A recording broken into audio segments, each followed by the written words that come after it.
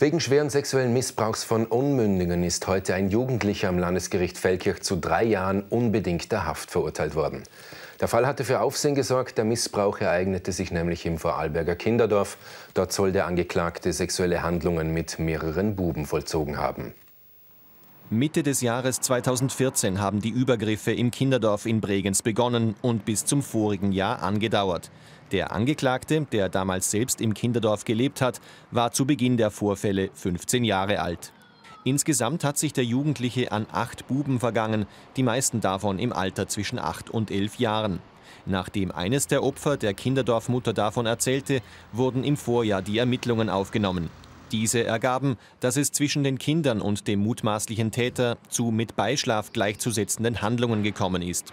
Daraufhin wurde er wegen schweren sexuellem Missbrauch von Unmündigen angeklagt.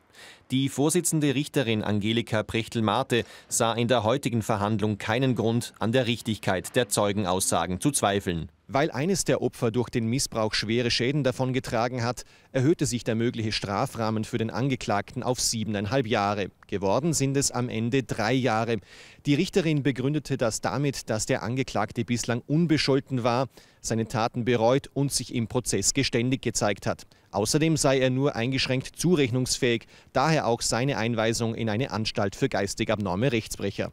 Zusätzlich zur Haftstrafe wurde der Jugendliche zur Zahlung von Schmerzengeld in Höhe von 21.600 Euro verurteilt.